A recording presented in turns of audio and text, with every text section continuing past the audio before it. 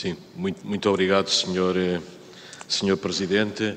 Eh, o Sr. Deputado Carlos Pereira fez, fez uma análise que me parece muito relevante. De facto, a economia portuguesa está a experimentar uma transformação que nós pensamos que é uma transformação estrutural, não é só produto da, da, da conjuntura.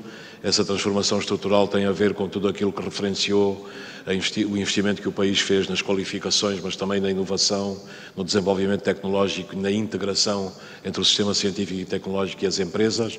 E o dado que referiu é absolutamente verdade. Nós chegamos o ano passado a 1,7% de investimento pela investigação e desenvolvimento tecnológico e cerca de 1% é das empresas. As empresas já têm praticamente 60% do investimento que o país faz em inovação e desenvolvimento tecnológico, o que significa que as empresas estão-se a apropriar cada vez mais desta capacidade de inovação trabalharem com o sistema científico e internalizarem tudo isso nos seus processos. É por isso que 48% das empresas portuguesas já estão envolvidas na inovação, o que eu acho que é muito significativo se comparamos com alguns anos atrás. Qual é o impacto que isso tem? É o impacto de todos os dias na nossa economia.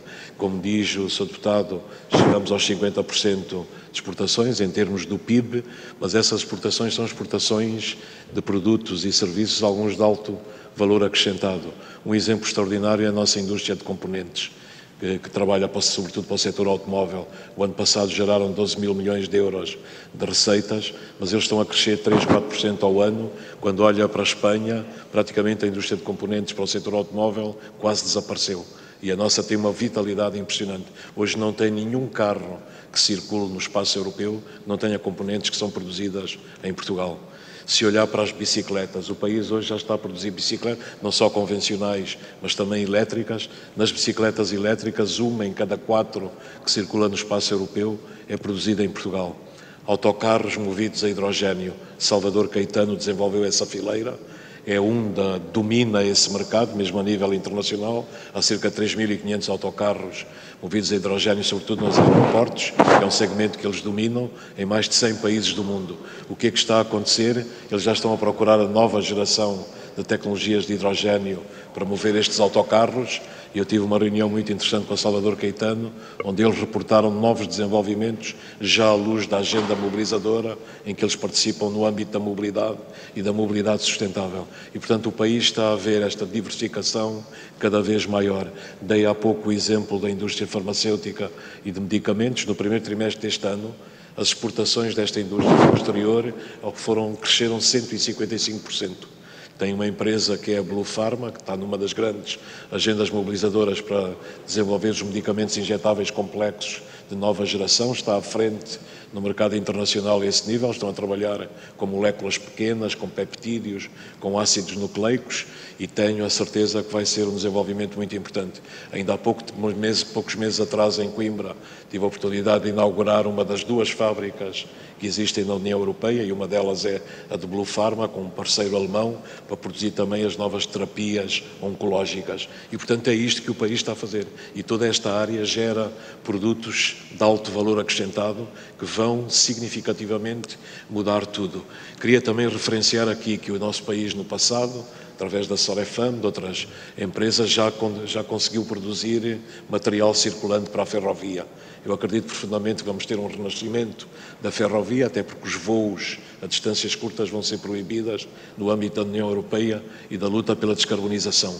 Nós temos duas grandes agendas que agregam a plataforma ferroviária, onde está todas as competências que o país desenvolveu ao longo dos anos, que estão a ser revitalizadas, e eu acredito que nós vamos fabricar material circulante, vamos mesmo fabricar locomotivas e estar também aqui num dos mercados fundamentais.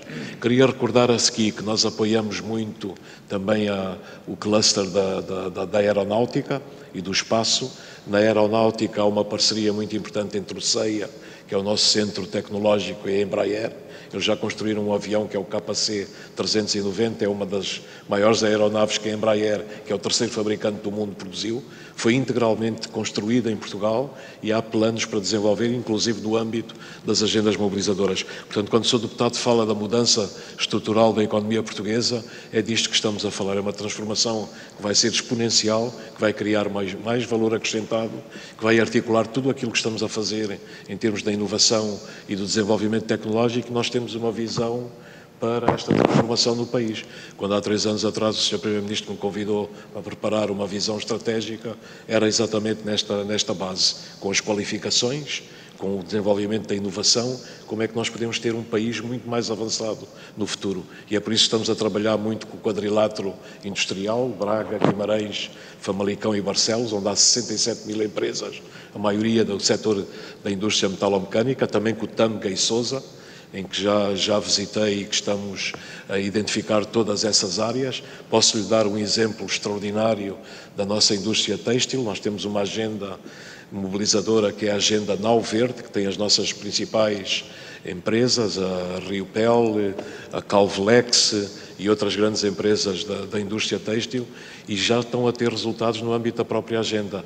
E como eles estão a trabalhar em fios reciclados, recordo que esta indústria, a taxa de circularidade de materiais é 2%, é muito baixa. As empresas que adotarem a circularidade, os fios reciclados, vão estar na linha da frente da competitividade e eles já estão a usar a, a inteligência artificial. Tive a oportunidade de ver isso quando visitei a Calvelex alguns, algum, alguns dias atrás, usar a inteligência artificial para construir, na base de tecidos que têm, uma espécie de tecidoteca moderna, com todos os tecidos que existem no mundo e que eles podem fabricar, identificar com avanço as novas tendências de moda que vão sair e preparar as linhas de montagem para responder. Repare, se isto se configurar, isto mostra que os nossos empresários, nós temos empresários extraordinários que pensam à frente, antecipam as modas, com todas estas ferramentas estão a usá-las no bom sentido, isto pode ser absolutamente decisivo para a transformação da economia. Obrigado.